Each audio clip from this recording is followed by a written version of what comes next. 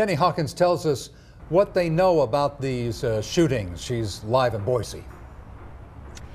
Yeah, Brent. Well, bald eagles aren't necessarily rare here in Idaho. We're lucky enough to be able to see them in Boise. And actually, when you're out on the Greenbelt, it's not uncommon for people to bring their binoculars with them so they can get a glimpse at these rare birds in some of the trees. Fish and game officials say they're devastated to see that somebody decided to use these protected animals as target practice.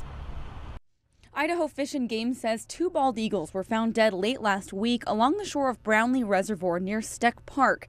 Now, that's west of Weiser in a relatively remote area. Veterinarians say the gunshots were from a high powered rifle. And there's no reason for uh, this senseless killing. Now, Fish and Game is trying to figure out who is responsible for a crime they consider very serious. The wildlife of the state is precious to all of us here in Idaho like I said, they're our national symbol, so there's absolutely no reason for somebody using them for target practice.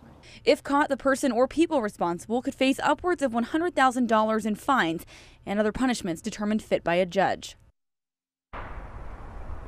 The group is hoping that somebody knows something about this crime and will come forward with some information. The group Citizens Against Poaching is offering a reward for anyone who can help provide them with helpful information.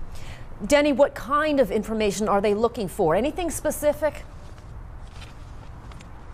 Natalie, at this point, Fish and Game still really doesn't know much. They're looking for anything, really. We do know that these birds were found late last week, but we don't even know when they were actually shot.